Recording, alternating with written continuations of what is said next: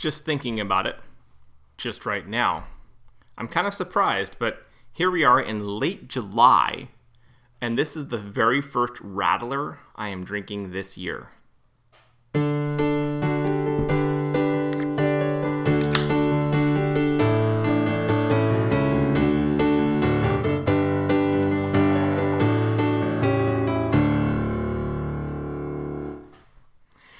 Hello, and welcome to another episode of Chewing the Brew.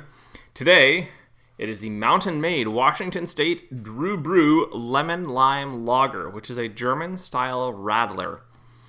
If you're familiar with the Midwest beers, Leinenkugels, a Leinie, would be the Ameri- or very Americanized version of a traditional Americanized version of a radler. A radler is a very traditional German summer beer style where they take a pale lager, a very nicely light lager, and they mix fruit juice with it. Delicious, super amazing, beautiful. There are some wonderful radlers you can have. You can get imported uh, pretty easily. I've found them most uh, most major beer retailers in the area. They're pretty easy to find. I would check the dates on them because if you can, because a lot of times those big retailers, um, well, they have no qualms about keeping cans on the shelves for a long time. Anyways, I in particular have enjoyed for US made radlers, I have enjoyed Great Divide's Roadie, which is a grapefruit radler. That's probably my go to. And in general, grapefruit works very nicely as a radler where the the you know the the tartness and and kind of uh, unctuous sweetness of grapefruit, specifically like ruby grapefruits, works very nicely to uh, as a counterpoint to a nice light lager. I have not had Dru Bru's Lemon Lime Lager before, and so I'm quite excited for this. This beer was a gift from the wonderful Justin. And so this one goes out to you, Justin. Also, I'm not going to be drinking this entire can because my wife likes radlers as well and is very much looking forward to enjoying some of this. So this is a German-style citrus fruit lager crafted with German Pilsner malt base and infused with lemon and lime juice. Perfect.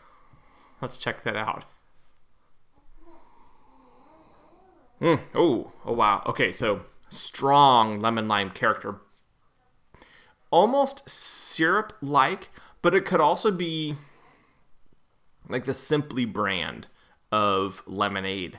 Kind of that brand has a particularly syrupy sweet uh, lemonade quality to it, but then there's also the lime twang, which is really nice. It smells strongly of that. There is a hint of the Pilsner going on underneath that. In fact, am I if I'm further away, I'm picking up more of the Pilsner or the Pilsner is more evident. But once I stick my nose in, it's it's lemon lime all the way, and it's a kind of a, a strong, sweet uh, lemon lime character.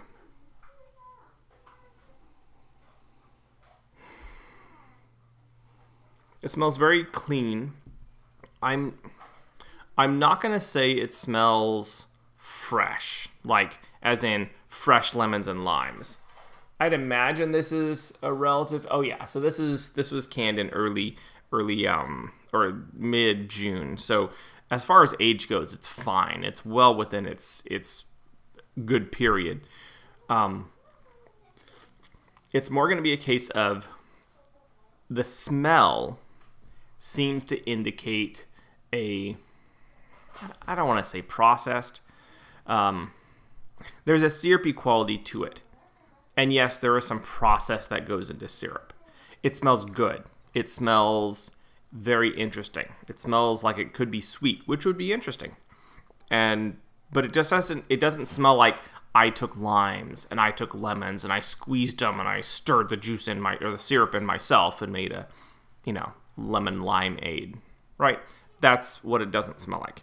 Anyways, let's see what it tastes like. Oh.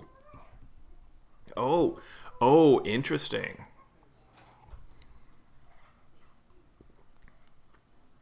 Okay. How this stands apart.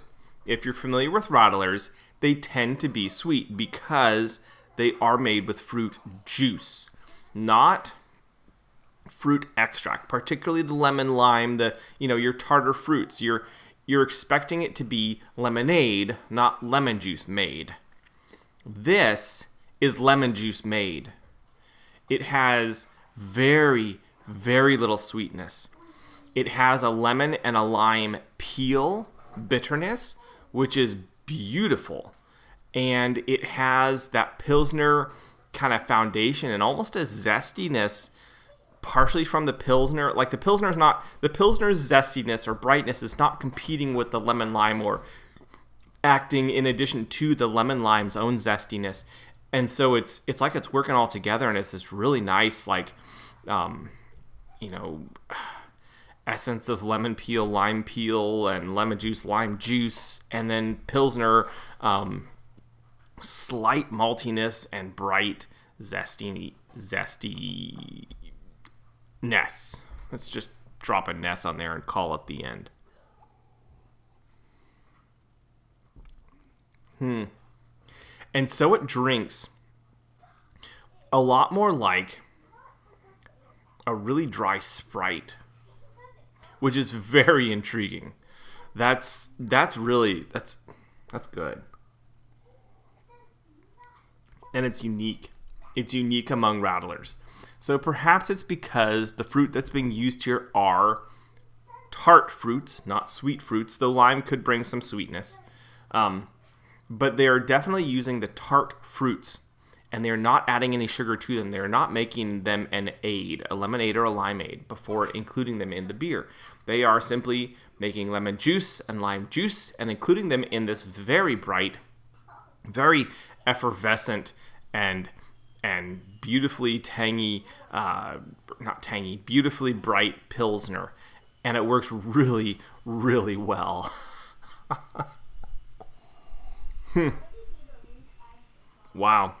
Wow, this is this is this is really good. I'm not gonna say this supplants my Roadie because I think I like that little bit of sweetness that the grapefruit brings in the Roadie by Great Divide. But this is is really good.